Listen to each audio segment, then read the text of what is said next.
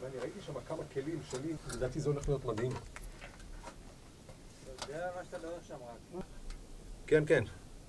איזה עומק זה? רואים, רואים שהיא מערת קבורה. משהו... איזה עומק אתה? אני... התקרה בערך שניים וחצי מטר, משהו כזה. אוקיי. וואו. שמע, כל המערה הזאתי זה אוסף של כלים תמימים מכל הסוגים והמינים. איזה גודל המערה בערך? יש לנו פה משהו כמו שישה על שישה מטר, וואו. יותר אפילו. יש לנו עמוד תמך באמצע. מערה שחצובה בכורכר.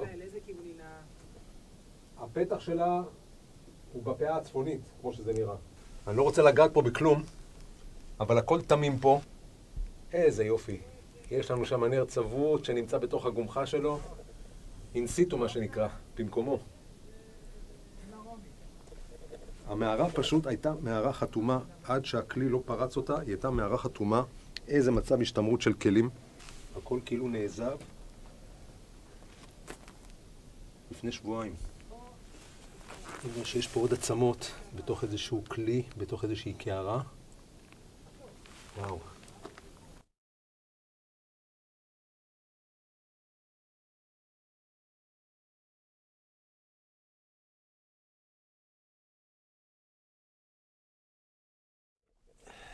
יש לנו פה בתוך הקנקנים, יש לנו פקיות קטנות בתוך הקנקנים, שמתי לב, בחלק מהם.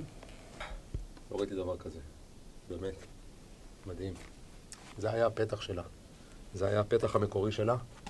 אנחנו רואים את השפך של החול שזלג לפה עם השנים, הרבה שנים. אמרתי, אנחנו מדברים על תקופת הברונזה. ומאיפה שמשתלשל הסולם, זה בעצם הפתח שפרץ ה-JCB עם הפטישון שלו. פרץ, עצר את העבודה מיד, וידע את המפקח שעובד צמוד אליו.